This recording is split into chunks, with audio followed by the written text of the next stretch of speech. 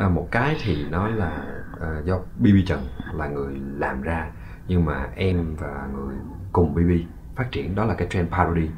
Tức là mọi người có thể coi cái YouTube mà khoảng những năm 26 27 á, là rất là nhiều cái thể loại MV parody và nó tạo một cái trend parody luôn. Tất cả nghệ sĩ nào ra sản phẩm official là họ cũng sẽ tìm đặt hàng để làm parody và rất là nhiều bạn làm parody theo cái đó thì uh, cái đó là ban đầu á BB Trần đã có cái idea đó rồi parody nhưng mà BB Trần kiểu một thân một mình á làm nó không có chỉnh chu và gặp em hai hai anh em làm với nhau. Thì em mới nói em mới nói BB là bây giờ mình đã parody thì mình phải làm giống y chang luôn.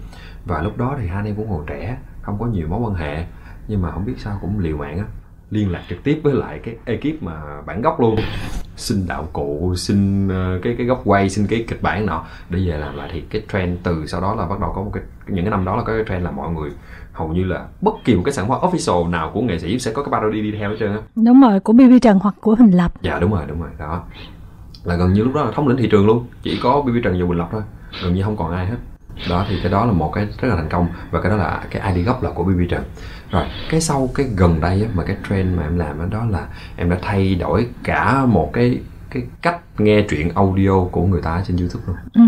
đó là khi ờ, em bắt đầu lớn thân dấn sân sang cái lĩnh vực là kể chuyện audio thì em với cái khả năng kể chuyện với khả năng viết lách của mình nó đã vượt trội hơn những cái bạn ở trên trên trên mạng rồi. Thì uh, em sử dụng là dùng những cái hình ảnh cái stock ở trên mạng. Nhưng mà cái stock của em á em làm nó nó hoàn thiện tới mức mà người ta cảm giác đó chính là hình minh họa của cái audio đó luôn.